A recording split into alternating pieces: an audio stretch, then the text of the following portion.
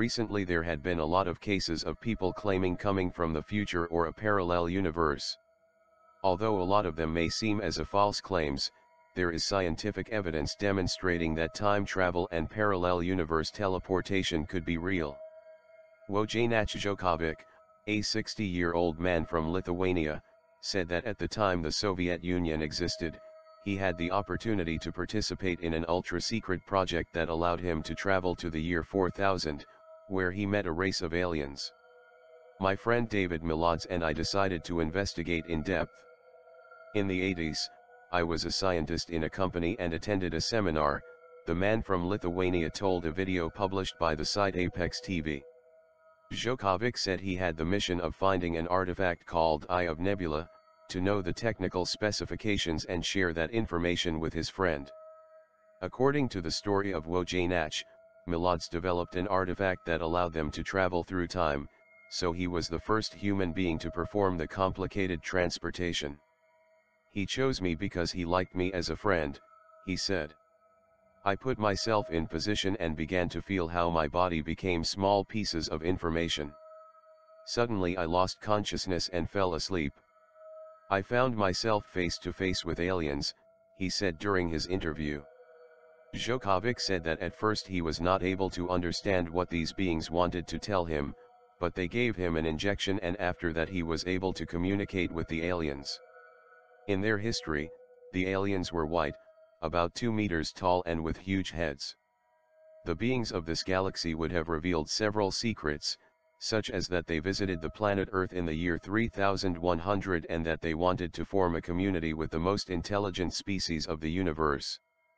The rise in self-proclaimed time travelers.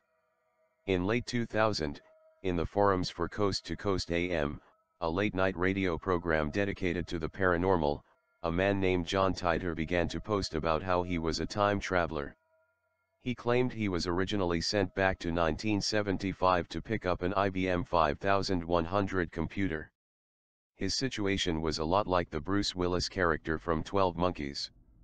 Instead of locating a virus, however, he was sent back to find a very specific early IBM portable, one that his grandfather had helped program and assemble. It was vitally important to retrieve it so government scientists from the future could use it to fight a legacy computer bug nicknamed the Year 2038 problem. Which, by the way, is a real thing. Then, about six months beforehand, on March 24, 2001, Titor disappeared forever. These time travelers recognize the public's need for proof. Some admit they can never convince us. Others try to explain how it works, or they attempt to convince viewers with questionable evidence, like blurry pictures of skyscrapers in the year 6000. Then there are the ones who make predictions of events that will soon come true, their proof of future events is never a prediction of what will happen next week, or later in the month. It's always a matter of waiting a few years. And then, you'll see. Is it time travel? Or are they other humans from a parallel universe? According to quantum mechanics, in 1957, a Princeton physics graduate student named Hugh Everett showed that the consistency of quantum mechanics required the existence of an infinity of universes parallel to our universe. That is, there has to be a person identical to you viewing an identical video right now in a universe identical to ours. Further, there have to be an infinite number of universes, and thus an infinite number of people identical to you in them.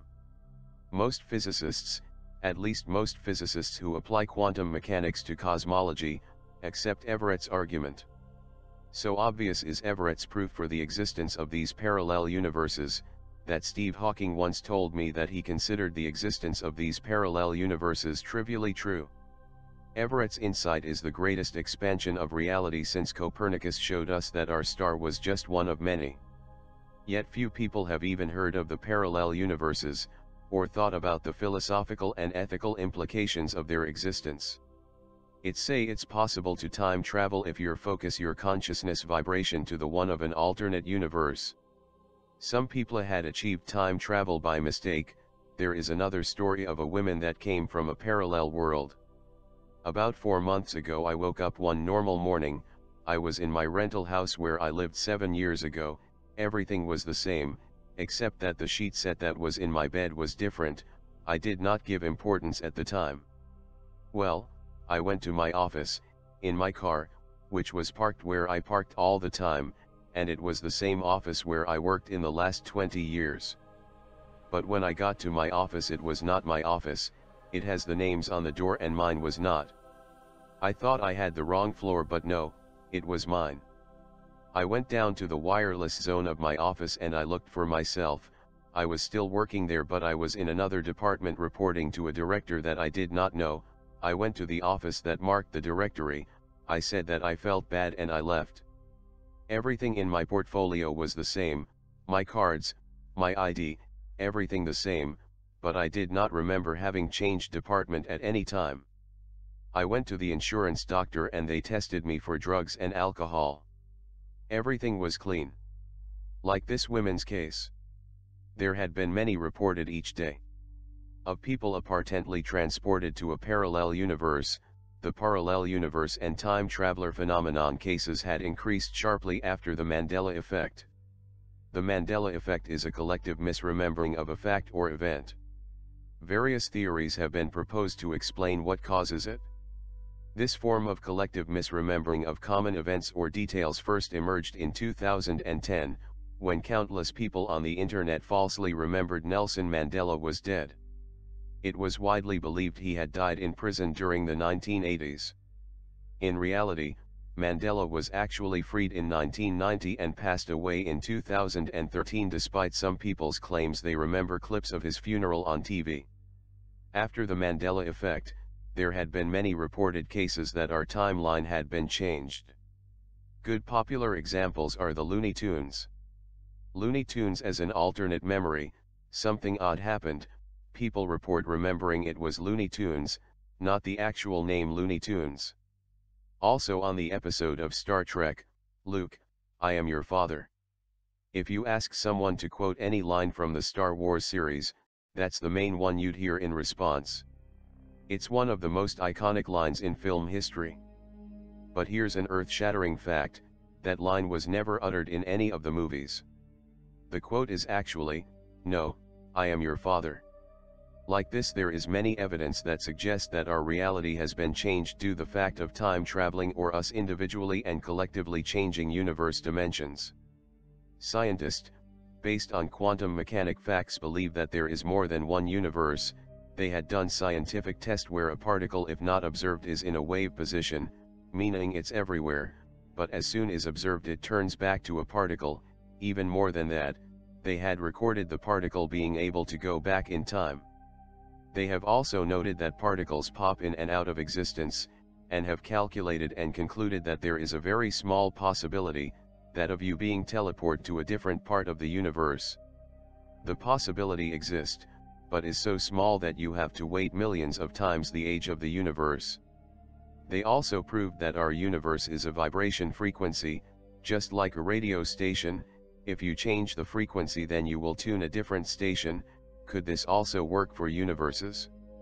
Back to the time traveler claims and parallel world claims, there are more questions than answers, it seems to be odd that all began with the beginning of the Wi-Fi era, who does remember every time you look at the clock and saying the 111 or 1111.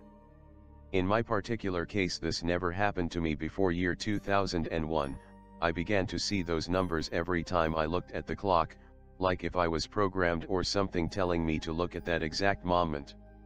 I never understood this phenomenon, but now it seems clear that it was a warning that my reality was being changed, also after the 2010s when the Wi-Fi signal was massively expanded throughout the world, we all began to hear the hum sounds on the sky, government will always come up with ridiculous conclusions such as it was a gas leak that was making that jet sound. Now in this time of humanity we are been bombarded with signals from everywhere and in all directions, we have radio signals, Wi-Fi, cell phones, satellites and many more. Could the Wi-Fi and other signals have changed our tune with the universe? Could this giant wave of vibrations open portals for interdimensional beings and time travelers? Our realities had been changed and this could get more intense in the following years with the increase of the Wi-Fi, cell phones and other vibration and frequency signals.